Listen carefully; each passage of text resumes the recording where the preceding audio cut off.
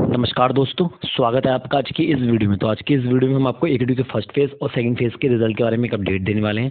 आ, तो अपडेट जो है वो एक के जो रिज़ल्ट से हमारे जो आ, उनसे रिलेटेड अपडेट है जो आपके रुके हुए रिज़ल्ट है।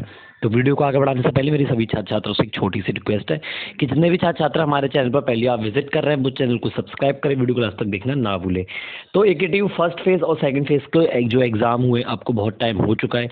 और ए के जो इवेंट सेमेस्टर का जो फ़र्स्ट फ़ेज़ है, उसकी भी डेट शीट आ चुकी है। एग्जामिनेशन फॉर्म भरे जा रहे हैं, ठीक है? कुछ दिनों में एग्जामिनेशन फॉर्म भरने की लास्ट डेट भी आ जाएगी और आपके एग्जामिनेशन फॉर्म भी भर जाएँगे। लेकिन ना ही फ़र्स्ट फ़ेज़ के रिज़ल्ट का पता है, ना ही सेकंड फ़ेज़ के रिज़ल्ट का पता है। तो अपडेट ये मैंने अपने कॉलेज के एक टीचर से पूछा था तो उन्होंने बताया था कि बेटा,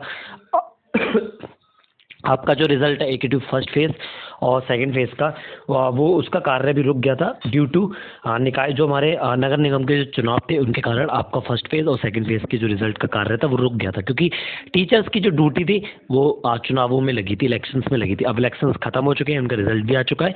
अब आपका जो रिज़ल्ट है, वो भी आने के लिए तैयार है, ठीक है? अगले वीक से, यानी कि मंडे से अगला वीक यानी कि कल से, ठीक है? कल से मंडे से आपका रिजल्ट्स आना स्टार्ट हो जाएँगे। अगर कल रिज़ल्ट नहीं आता तो परसों तरसों से आपके बी टेक के, आपके बी फार्मा के वन बाई वन आपके जो रिज़ल्ट है वो आना स्टार्ट हो जाएँगे, ठीक है? तो वीडियो में एंड तक बने रहने के लिए बहुत बहुत धन्यवाद।